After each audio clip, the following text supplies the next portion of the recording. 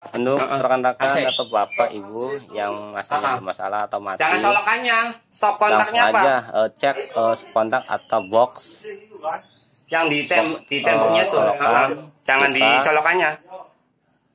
Nah kali ini AC ini ternyata kerusakannya eh, box kontaknya udah pada pecah dalamannya harus kita ganti seperti ini keadaannya pada pecah semua.